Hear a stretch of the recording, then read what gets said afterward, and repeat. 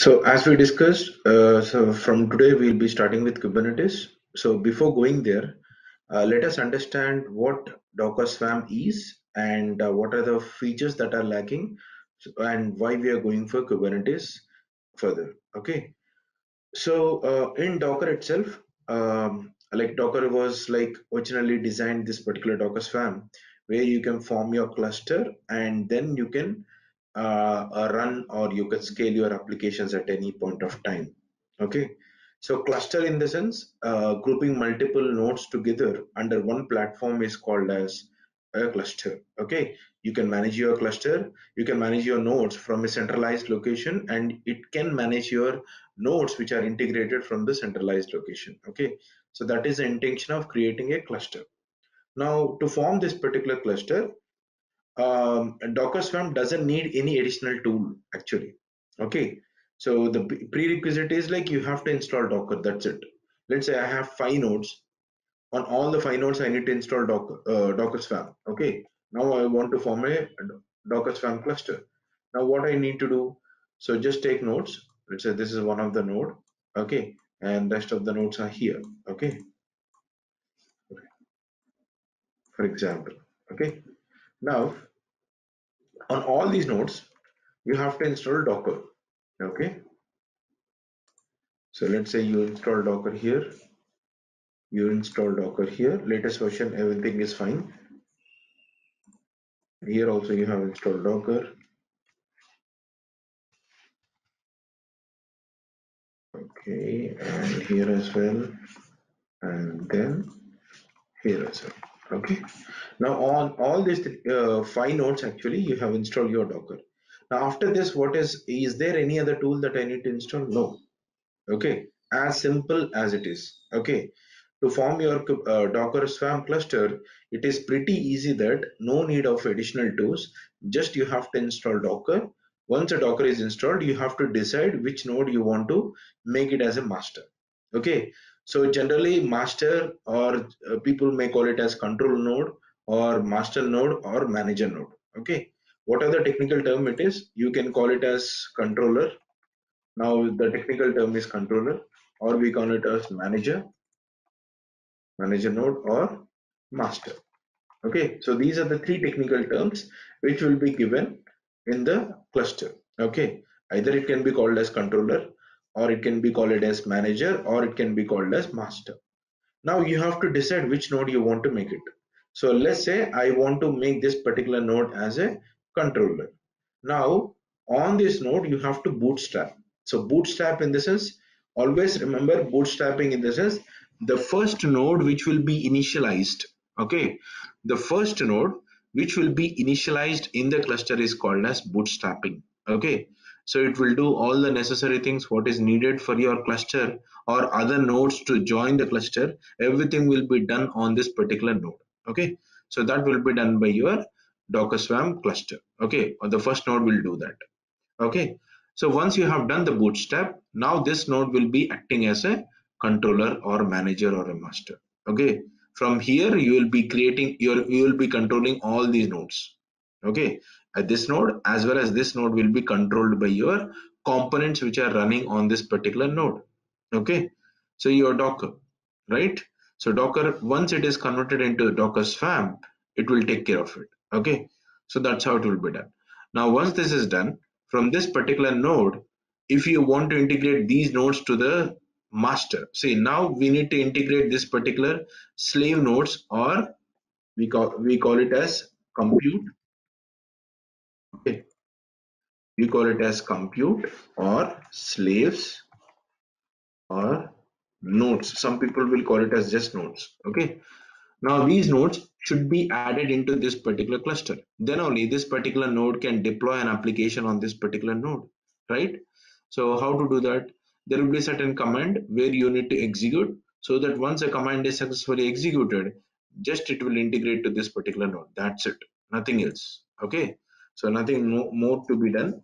Just you have to execute that command okay? It is also a docker command actually. So that's how these nodes will get integrated to this particular nodes okay? So once this is done your docker swarm cluster is formed and then you can deploy your applications whatever you want okay? So that's how it can be done okay. Now this is called as on whole it is called as docker swarm cluster.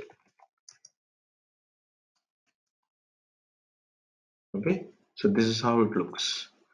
Now with this forming this particular docker swarm cluster the problem is it doesn't provide so many functionalities. It provides only a few functionalities like you can manage like you can replica.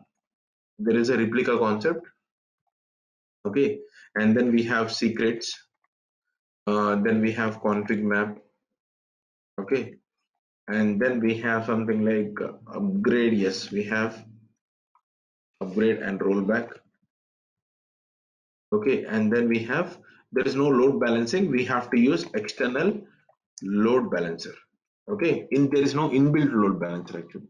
So these are the functionalities major functionalities which are provided by your docker swarm cluster.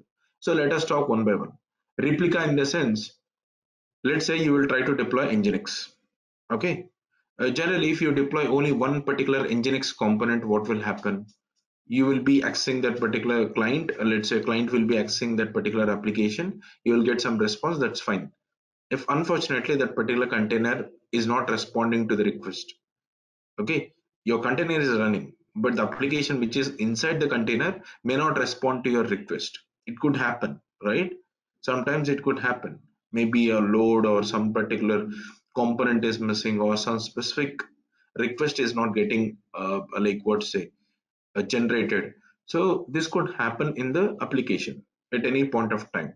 So when it is not getting responded i need some other alternative container where it could respond to my request which means it like a backup. Okay? So we need multiple containers in such a way that the the benefit is you can divert your traffic equally among all the containers what you have. And all the containers should have the same data. Okay not only the application version should be same nginx 1.19.0 okay initially the replica will be only one which means that you will deploy only uh, technically this is called a service. When you try to create an application on this particular docker swarm it is called a service. Okay so when you try to create a service okay uh, saying that nginx with replica is equal to one right now. Okay. So what does it mean? Like now this only one container will be one service will be created for you for this particular nginx web application. Okay. So if you try to increase it to uh, let's say three now what will happen? So now the replica count has been increased. Okay. So it will increase. Same container will be created three uh, three containers will be running in the background not about the data. Every container is individual okay? We can we can uh, share the storage like using this volume mount or something. Among all these three containers can have the same data. That can be done. But all the three containers will have the same application version. That is the intention actually. So once that is done that that is what docker swarm will do it for you okay so if one container is not available i can divert the traffic to the rest of the containers which i have. Okay? So this is how that that is the intention of replica. The same concept is also available on your uh, kubernetes orchestration tool as well. Okay? So in the docker swarm also we have it. The benefit is instead of having uh, running your application as a standalone like using a single container you will be creating multiple containers in such a way that the traffic can be diverted among the containers. Okay? So that is the intention of using this replica concept. In order to have this common data among these containers you have to use some common volume like nfs or a volume mount or something like that. Okay? Docker itself cannot do it automatically. Okay?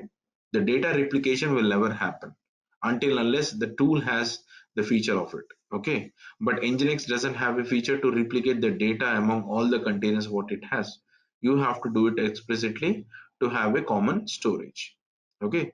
Now that's okay. The concept is to understand only the replica what it does exactly in docker swarm okay? In any cluster if you hear something about replica concept it is the same functionality. Okay? It will create multiple containers with the same application. Simple.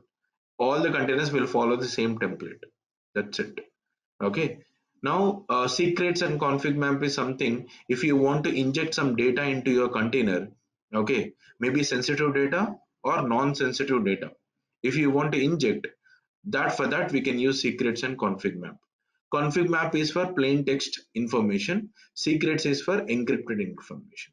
Okay, these two concepts you will all be. Or this is already covered in Kubernetes. Okay, upgrade and uh, downgrade. Downgrade in the sense rollback. Okay, so let's say you deployed some application. It is version called. Let's say you deployed initially with Nginx called 1.19.0. Now your developers told that we don't want this 1.19.0 we don't want to run on this particular version please upgrade they will try to tell you that please upgrade the nginx version uh, whatever it is installed on your docker swarm cluster now what we can do we can use an upgrade concept where we can upgrade our nginx version from 1.19.0 to any latest or any other version. Okay? This can be done. So which means that at any point of time without disturbing your all the containers uh, at a time making your application down without doing that you can upgrade your application from one version to another version. Again at any point of time you can roll back. Okay? Roll back in the sense from latest we found that developers have found that there are too many bugs which is there are so many vulnerabilities and bugs which are not getting fixed or may not be get fixed which is causing the application to get hacked or to get uh, exposure to the vulnerabilities. Now developers what have they have told is nothing but once they got a confirmation they have told that they want to revert back to the old version. Okay. So then what they want to do? Now you can roll back your application from one version to the another version whichever you want like from where you have came from okay? So this is how it can be done. So that is a concept of upgrade and rollback okay? Upgrade in the sense at any point of time you can upgrade from one version to higher version okay? Above version of it. Rollback in the sense coming from older version uh, new version to the older version backward okay? Maybe one step backward or two steps backward it depends upon our need okay external load balancer in the sense now when you heard the concept of replica you're, you're telling that there are three containers right? I'm telling that there are three containers which will serve the same uh, same application data or what is same application. Now how your client will contact to this particular containers? Can should he need to update his front-end application with all the three containers ip address? No right? It cannot be right so that's the reason what we have to do. We have to use some load balancer in front of this so that the traffic will get equally distributed among these containers. That should happen right? So what is the intention of using the load balancer? To uh, divert the traffic equally among all the containers and there should be one point of contact one endpoint to reach to this particular containers. That is intention of using load balancer. Now this load balancer feature is not inbuilt to your docker swarm you have to use some external load balancer so that you will deploy somewhere. Let's say you have this aws load balancer or you have your own load balancer like ha proxy or nginx load balancer whatever you have. You configured in one server.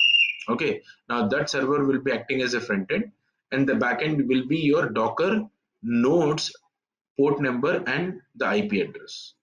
Okay so what you have to do you have to expose this particular containers using a port forwarding which means that a port on the node will be binded to your container that's how you have to do once it is done, you have to configure the external load balancer. It's up to you to install on the manager or any other separate node. And then you can do a load balancing to your applications. So clients will be accessing that particular URL, load balancer URL. So that will divert the traffic. Even the user cannot understand, the client cannot understand if any one of the container is down because the down container, the traffic will not get accepted in a load balancer. The traffic will be sent only to the containers which are able to respond. Why? Because a load balancer will do an health check on that particular endpoints internally. So that's the reason it will decide whether to send a traffic to that particular container or not. Okay. So this is these are the main features which are present in your Docker Swarm. These are the only few features which you see about this particular Docker Swarm actually. You forget about this load balancer, even this load balancer, you have to configure externally it is not an inbuilt feature of your load balancer okay now if you try to compare with this kubernetes orchestration tool how it makes a difference for me okay so let's try to understand that okay so if you look at this particular docker swarm and kubernetes differentiation generally this was developed by google in 2014 and they made it as open source. When i started i started in 2016 actually. Maybe the third version or fourth version i guess. If i don't remember actually like it's the third version or fourth version where i started this kubernetes understanding the concept of this kubernetes and why it should be used okay that's where i heard and i practiced it 2016 so and this was released in actually 2014 okay? So docker swarm was there from long back when the docker was implemented when the they want to form a kubernetes cluster sorry docker cluster they have implemented this docker swarm it is developed by docker swarm community okay? And this is developed by google uh, in for inter their internal purpose. And later on in 2014 they made it as open source and the people now started contributing to this okay open source uh, community. And this was owned by now cncf okay. So cncf is nothing but cloud native computing foundation okay. So what is that is nothing but let me show you. So cloud native uh, compute foundation in the sense this is an open source community which will like there will be many number of developers contributors and everything they will decide which tool should be used for the, your kubernetes implementation or any other implementation. Okay? They will decide. Okay? For uh, you can see including kubernetes incubators there will be contributors members end users there will be so many other things. Okay? Always what i recommend is nothing but for you guys make a habit like go to the blogs read the blog. So you will understand what are the new implementations which are done in kubernetes. Okay so if you want to know that definitely you have to read this particular blog okay? Whether you may become a team lead or whether you become a advertise uh, like architect engineer or like a devops engineer you have to be up to date with the new tools and new implementation which was done in kubernetes okay? So that's why i recommend to read this particular blogs okay? For kubernetes we have a separate blog okay? Let me show you the blog that is cncf block, which is the open source community and this is especially designed for kubernetes okay? A new implementations which are done in 2021 so you can see the design a new design for volume populators. So just read this okay? It was released on august 30 okay? Which means that it is almost today right? Yeah. It was done today okay so you, you can just read it. So now the new release is 1.2 uh, 1.22 but we will be using 1.21 of a stable release. Okay. So there will be so many things which will be implemented in your kubernetes. Okay. Always you have to read these two documents in order to be up to date. What is that? If you want immediate update just read this kubernetes block. Okay. If you need some other things including kubernetes and all understanding some concepts like this see infrastructure as a code platform as a service. Everything you need to know. Like some other concepts which they will try to tell you like there's something interesting for you okay? Some monitoring tools or something like that that might suit your uh, kubernetes and open source open sourcing of your security audit everything like so many things actually okay? If you want to see what are the certifications we have just go through this the main certifications are CKA, CKAD and CKS. Okay. So these are the three certifications. I did only these two actually. CKA and CKS. Okay. In order to do this particular CKS, you have to either have a CKA or CKAD. Any one of them. Okay. Uh, then only you can write your CKS exam. Okay. So these are about the certifications and these are about the blocks which you have to read. Always I keep reading this particular blocks actually. Okay? So these are the blocks which you have to read about your understanding the kubernetes new implementations. Okay? So let me ping these particular blocks so that you can be reading it.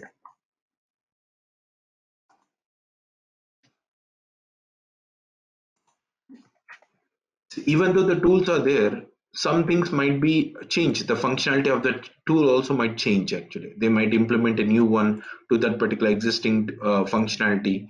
They might add some minute changes and all. So always you have to read it and understand okay? Though you know about something but still you have to read it again the documentation. Why? Because they might have changed the functionality right?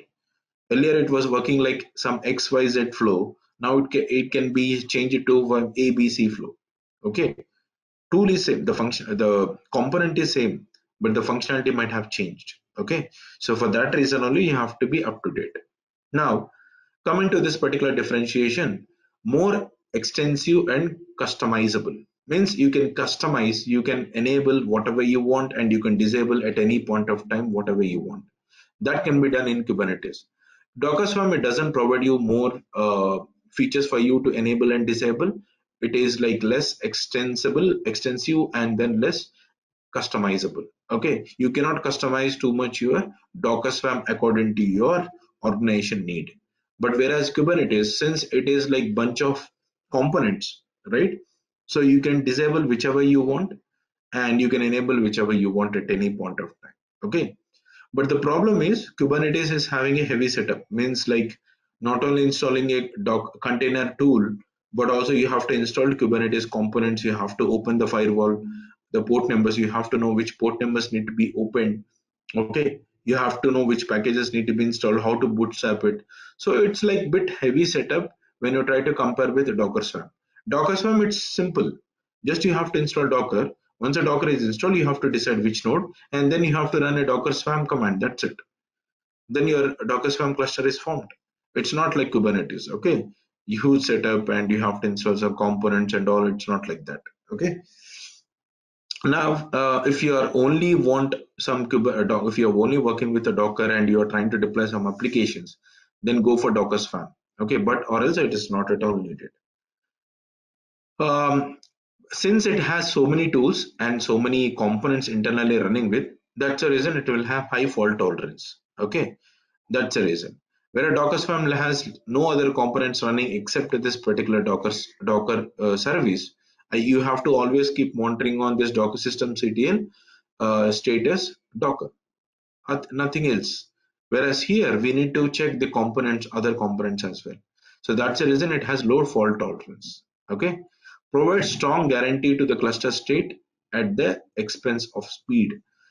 A strong guarantee of the cluster in the sense once a cluster is formed right you will have all the functionalities all the components running as per your expectation okay and whereas Docker Swarm facilitates for quick continuous deployment and scale even in very large cluster. We can use it for if you have large components that need to be installed on your cluster, we can go for Docker Swarm. But you have to compromise on the functionalities. Okay, you don't get too many functionalities or too many features available on this particular Docker Swarm.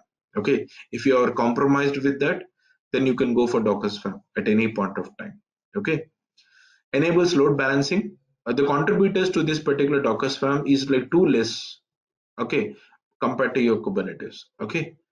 Enables load balancing when the container pods are defined. See technically in kubernetes containers are called as pod. I'll tell you what is this pod and all but technically it is called as pod are defined as services. So internally if you want a load balancer there is a uh, functionality called service. That component you have to install. Okay? Then automatically it will have a load balancer.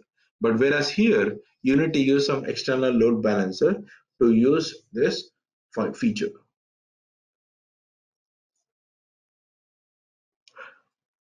Okay? So this is all about it. Now let's try to understand the kubernetes architecture okay? So how it should be installed uh, what is called as master and which is called as minion okay? Minion is nothing but a slave okay? So what are the components will be running on master? I technically call it as controller okay?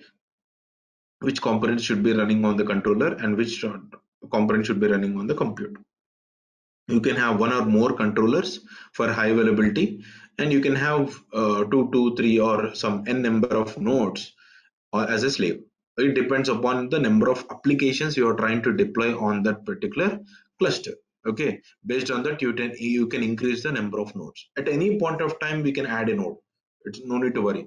We can remove the node from the cluster or we can add a node to the cluster at any point of time. Okay, that's one thing we can remember. Now, um, in Kubernetes architecture, you have controller and you have compute, compute nodes. On the controller, what are the components we have to install? Apart from Docker or any other containerization tool. I'm not saying only Docker should be used. So keep the Docker aside. Okay. Docker is a containerization tool where you can run your application in the container level to build the images, to have the networking features. You have so many other things. But it doesn't mean that Kubernetes should use only Docker. No. See, Docker is the only, it's not the only tool which we have in the market right now to run your containers. We have so many other tools. Okay why Kubernetes? Uh, you might have heard that Kubernetes is deprecating this Docker support from 1.22. Uh, did anyone heard about this? No? Okay. So the concept is simple. The Kubernetes is deprecating this particular Docker support. It's only a support, okay? They're trying to deprecate this particular Docker support for Kubernetes as a backend containerization tool. Kubernetes cannot create a containers. It should, these components have a different behavior, but in order to create a container, either you have to use a Docker or we have to use any other tool in order to create a containers. Okay. Now Kubernetes is dropping from Docker support. Okay. From 1.22 version actually what is the reason and all we will discuss i'll tell you what is the reason but first of all let us keep that particular topic aside okay now oh okay what what are the other tools that we can use we have containerd we have CRI-O cri hyphen o CRI-O we have rt uh, rtx hyphen d. So we have some other tools which are also present which can be used for your kubernetes actually. Okay? Docker uh, containerd and CRI-O. These are the three major components which you might have heard. Among this which is the most used container runtime interface in the backend apart from docker is nothing but containerd why? Because your docker is also using containerd understood? Docker itself is not creating a container actually docker is using container D, let me tell you first of all about this okay? Is that true? My statement is true or not? Let me try to explain. Look at look at this particular container creation in docker. What will happen? Look at the first point. Docker cli is used to execute a command. So you will use docker cli command in order to create a container. For example you executed some command. Docker container um, run hyphen d you gave some options and then at last you give some image name. So once you execute that command docker cli will uh, it will it will it will open some particular api it will create some particular API that API will send the request to your docker daemon right? Your docker server through the socket. Through socket it will uh, it will load the appropriate API Uh, when you're trying to create a container container creation will have a separate, separate API right? So it will it will open that particular API and that API request will reach to your docker daemon. Okay? Once it is reached what your docker daemon will do? Once the instruction has been reached to your docker daemon your docker daemon calls container d to start a container. Look at this particular point. Okay? So this is important for you to understand. Docker daemon calls containerd to start a new container so which means that your docker tool is not itself is creating you a container I told you in the last session as well, Docker is not a tool which is designed to create a containers. It is providing you some particular additional features apart from creating a container. Okay. So Docker is leveraging the concept which is already existing. It is trying to utilize those concepts which is already present in your Linux operating system. It is utilizing that and then additionally it is doing some more other things and it is providing you some more other functionalities to create a container. One among them is nothing but it is using container D. Docker is using container D. So Docker daemon calls container D to start a new container. How it will pass information to your container D? There has to be some procedure, right? That is nothing but gRPC call. Golang developed remote procedure call. okay it is also kind of api actually okay CRUD style of api okay. So now it will use that particular protocol grpc protocol in order to pass information from your docker daemon to your container d. Now once information has been reached to the container d now the responsibility of container d is to create a container.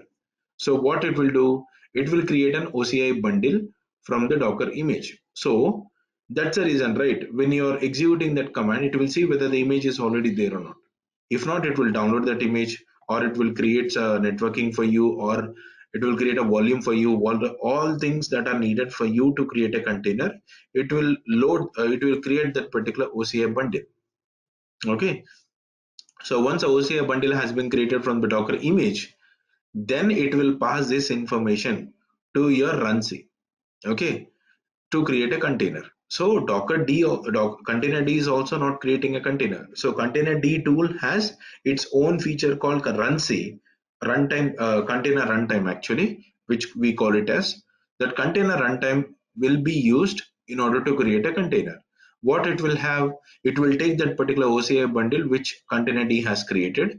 That OCI bundle will be given to the runc and runc will use namespaces, C group and union file system concepts. I told you right there is a wrapper called libcontainer. It will use it will use that particular wrapper in order to create a namespace for the container, C group and union file system for the container.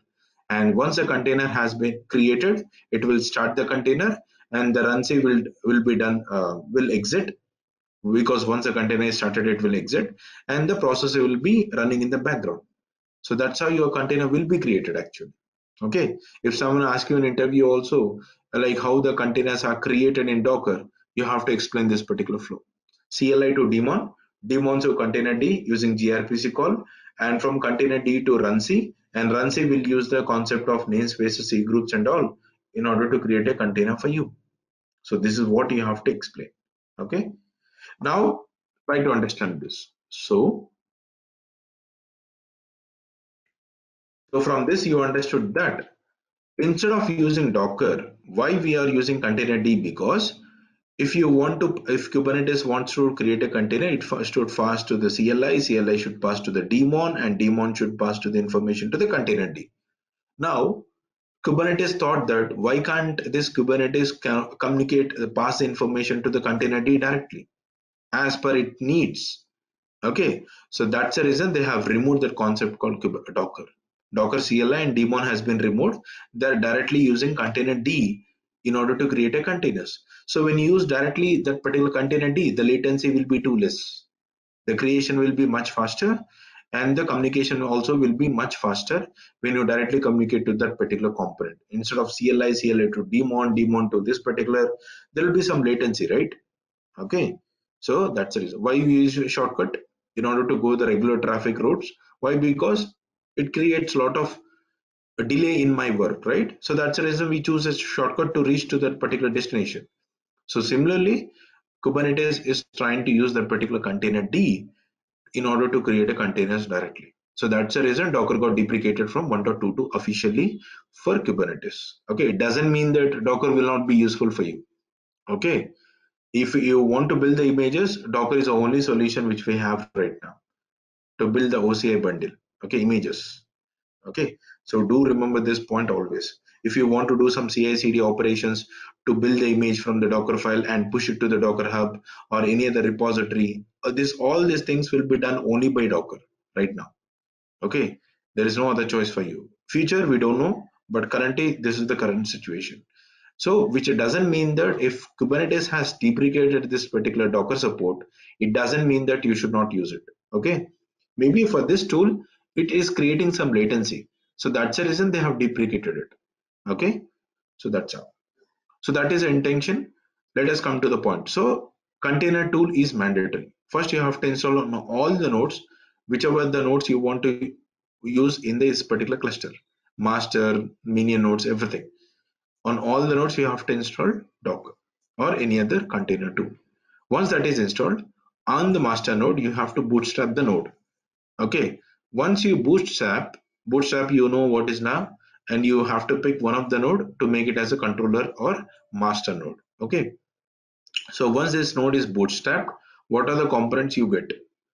These components you will get. What are those? Api server etcd control manager and then kube scheduler okay? So let us try to understand one by one. What is api server? The kube api server is the first component which will take the request and which will send the request back. Okay? Which means that even when you when you try to communicate to your kubernetes whether through kubectl command or through direct api call using curl command or if you are using a dashboard any tool you use, any interface or any medium you use, the first component who will take the information is nothing but API server. Okay, what the API server will do, first it will verify whether this user is valid to Uh, enter to this Kubernetes cluster or not. First it will check that, which is called as authentication. Authentication will be done on your API server, authentication and authorization. Authentication in this is verifying the username, password or certificates or token based authentication. So it will verify whether this user is valid to log into this particular cluster or not. Okay. Once it is verified, then it will verify the authentication. Sorry, authorization. What is authorization? See, if you have logged into a cluster, it doesn't mean that you can access everything. You need to have some limitations, right? in aws also you cannot access everything right you have some limitations any tool when you try to log in it doesn't mean that you have full access you might have only few access read only access or you can access few components but all not all the components. In that few components also you can create but you cannot delete. You can update you can create you can modify but you cannot delete it. So all these restrictions will be done in the authorization. So it will verify whether that particular user is having what kind of access and all. And that information once it is verified then it will go to the next component. Okay? So this is the phase where it will do this authentication and authorization. Okay? API server so once that is done what is the next component? It actually depends on what kind of thing you are trying to do. But let's say if you are trying to deploy some application first it will contact to etcd okay? In etcd it is nothing but a key value pair store. It is kind of a database which will try to store the metadata information. Okay?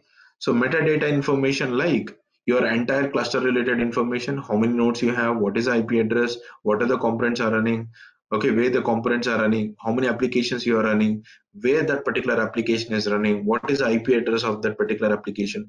Each and every information of your entire cluster will be stored. From small information minute information to the large information everything like whatever you have will be stored in the etcd so your etcd is the main component to get the whole bunch of information of your cluster. Okay? If someone wants some information they have to contact your etcd okay? So always it is recommended to take a backup of your etcd at any point of time. Okay? You have to take regular backups. Okay? So that is what i can say. So etcd is a key value pair kind of data uh, database store where you can store this information all. It doesn't have data like mysql mariadb doesn't have any engine okay? It has only information which can be stored as a key value pair format like a non-SQL database okay? So that's how it is. So this etcd you have so many other tools which can be supported like we have Consul we have zookeeper and all. But etcd is a recommended key value pair store for your kubernetes cluster. By default also you get this one okay now so it has a whole bunch of information. So my question is does etcd will gather this information or someone is helping this uh, to get the whole bunch of information of your cluster? Yes. So etcd doesn't do this. Okay? Etcd's responsibility is only to store the information and retrieve the information if someone trying to authenticate. Like authentication once it is done authorization is also done kubernetes api will ask him that okay please give me this information. So it will search for that and it will give the information to your api server. Okay? So etcd is it getting the information on its own to get uh, have the cluster information? No. Who is helping him? Control manager. So kube control manager will not only have this uh, it does this particular task where it will collect the information of your entire cluster with certain interval it will keep on check it your cluster status and everything and your application status as well. If any any one of the application is not working as per the expectation it will try to fix that as well. Okay? So that's how the control manager will do. Let's say i'm trying to say that my nginx should run with three replicas. Now it is running only with two replicas. Somehow one pod is deleted. So automatically kube control manager will see the information decide what is your desired information and what is your current status it will compare. It is anything is mismatching it will try to implement that with the desired state. Okay? Desired in the sense what you are expecting. Okay? So that information will be available in etcd once it is created. So with that it will try to compare and it will see whether the desired information is present uh, same as your expected current state. If it is mismatching it will try to fix that let's say now it is running with only two replicas but my expectation is three in the etcd so additional one pod will be get created. Okay? So that is a thing which will be done by your control manager. There will be one more component. It depends upon where you are trying to install. That is nothing but cloud sorry one more component is cloud control manager.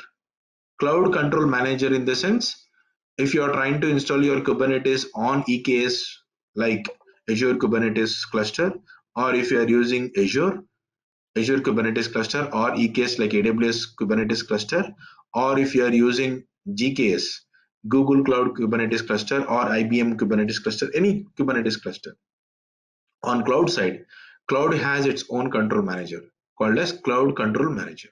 Okay? You might hear about that as well. Okay? Its task is also same thing but it is specific designed for cloud.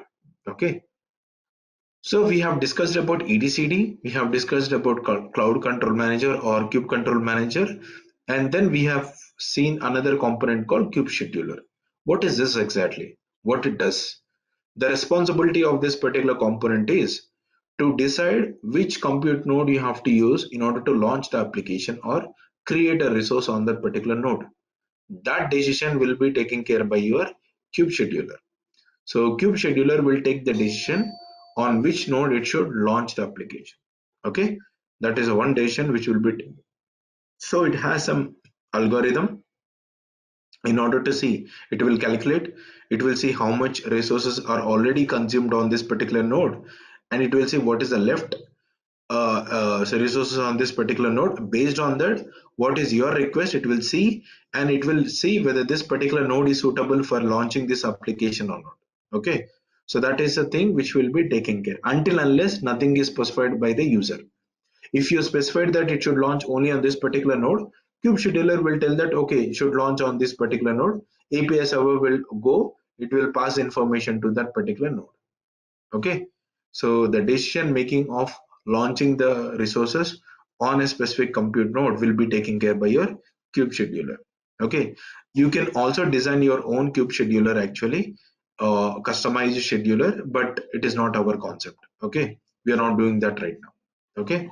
And it is always recommended in high availability to make your etcd as high available. High available in the sense highly available in the sense not only running single etcd run multiple etcds which means that if one of the etcd is down still you have other two etcds to respond to your data. Okay? Because this is the main component right of your entire kubernetes cluster information so that's the reason okay?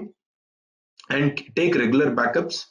The intention is if something goes wrong you can restore your cluster from the backup okay? So that is intention. So now uh, once this is done once a decision has been made and it is given to the API server you might have observed that none of the component is talking with each other you can see kube scheduler cannot talk to etcd control manager cannot talk to the etcd or etcd cannot talk to the control manager or scheduler or scheduler cannot talk to the control manager. It has to talk contact with each other only through api server. Okay. For everything it will do authentication authorization then only once that is done then only it will pass the information. Okay. So that is a one more thing you have to remember at last and which is important. Okay none of the components will directly contact with each other they will come through only api server okay that's a major point which you have to remember and once API server has made a decision, it will go to the first component on the node is nothing but kubelet. So kubelet is the first component who will receive the information from the API server. Okay. Once the information has been received, it will do the uh, necessary changes, uh, means like modification according to your Docker or any other containerization tool you are using. It will pass the information to that particular component. Okay. API server is directly not passing the information to your Docker. It is passing to the kubelet and kubelet will pass information to the uh, containerization tool, whatever you're using, maybe uh, containerd or Docker or any other containerization tool. Okay. Now, once a kubelet has received that information, once it is passed to the Docker, Docker will create a container. You know how the container will be created. That flow also I explained just now. Once that is done, kubelet will send a response to your API server. API server will display either in the dashboard or a CLI or in the uh, call like API call. Okay and once that is also done that information will be stored in etcd okay now what about kubeproxy kubeproxy is a proxy server which will bypass information. Let's say when you're it's like it, it when you're doing some port forwarding or when you're accessing your application when you want to access your application directly kubeproxy will directly add an entry in the ip tables. Using that ip tables it will by uh, it will transfer the information from your node to the application which is running on that particular node. Okay? If you see in docker also we have docker proxy okay the docker proxy will does the same thing. When you do a port forwarding uh, check your uh, docker status. You will see if some docker proxy which is running in the background. The docker proxy is nothing but whenever you do a port forwarding the proxy will come into picture okay, to bypass the information. So similarly when you are doing some port forwarding on this particular node that particular port when you try to access on that particular node it will transfer the information to the actual application which is running in the background that will be taken care by your kubeproxy okay? So these are the components which we have and this is the responsibility of each and every component. Okay? Same components will be running.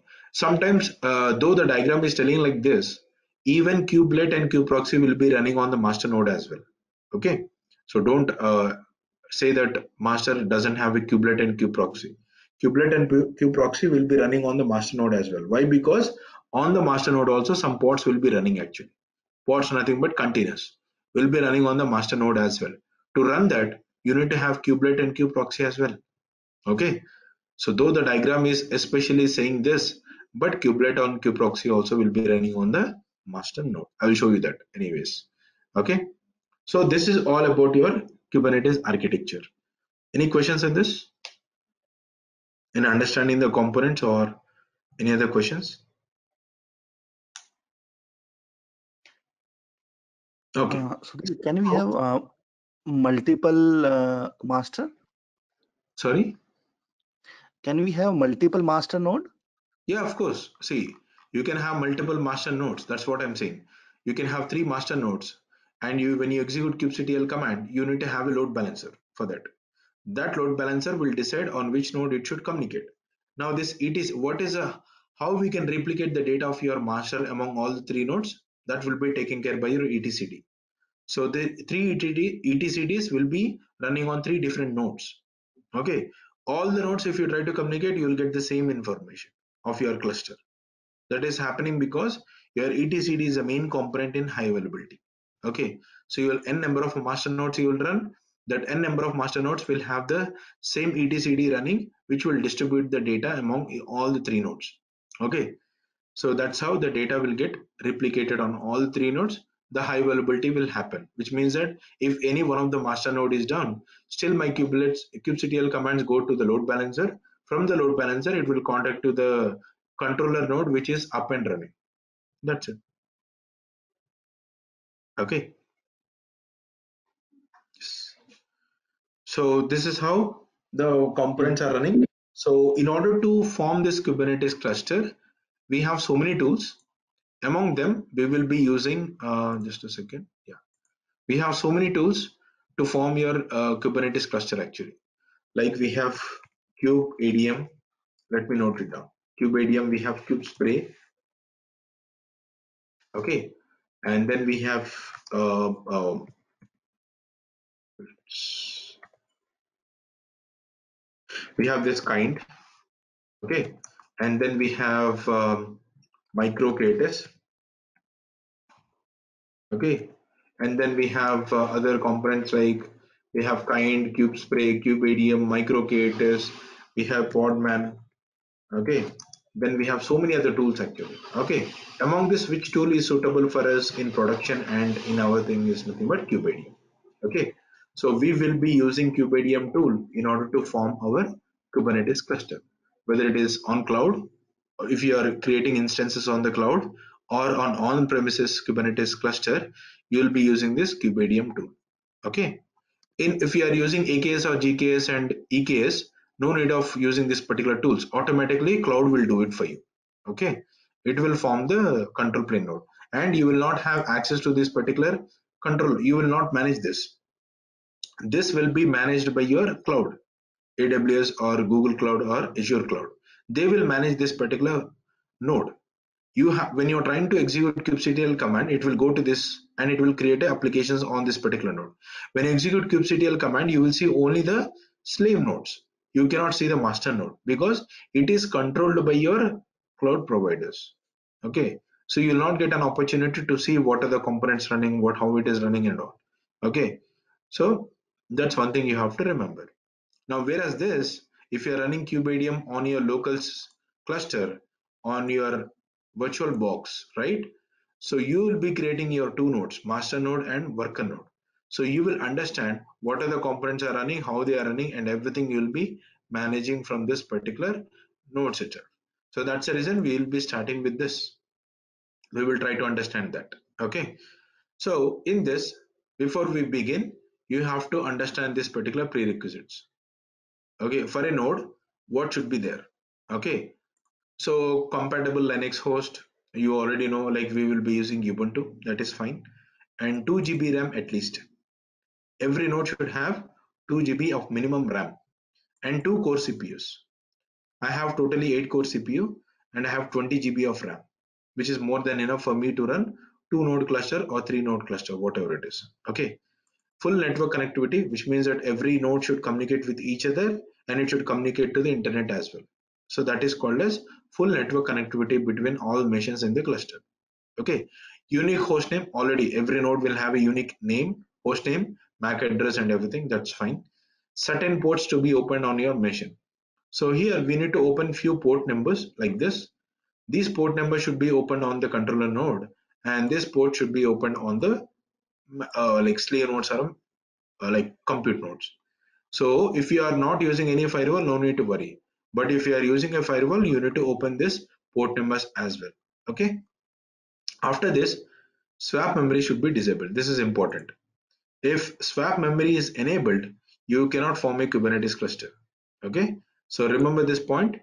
If you have a swap memory enabled, you cannot form your Kubernetes cluster. Anyway, you will come to know if you try to execute the command also if by enabling this swap memory, it will reject. Okay, you can see that. These things you already know, uh, like these are the commands which you have to execute in order to allow the bridge traffic because you are using bridge network and all in, in order to communicate from one node to another node, the components which are running, you have to enable this particular bridge, you have to enable this particular module, and you have to enable this particular network settings as well. Okay, so you have to do this. Once this is done, then we can go and we can you, you need to install the runtime. As I already told you, Kubernetes is not creating a containers. You have to in, deploy some particular containerization tool. You have to decide whether you want to use Docker or whether you want to use containerd or whether you want to use CRI-O, C-R-I-O. Okay, so based on that you have to decide. Once this is done, then you have to install your Kubernetes components. Okay, the packages, repository and all you have to install. Then we can bootstrap our first node. Okay, then you have to follow these particular steps. Okay, for initially the person might get confused. So that's the reason let me explain one by one tomorrow how to form. From your side, what you have to do, you have to create two nodes with Ubuntu 20.04 version and bridge network and it should it should have two core CPU with at least 4 GB of RAM. Okay, if you don't have enough space on this, go to GCP account, create two instances with the same specifications what I've told. Okay.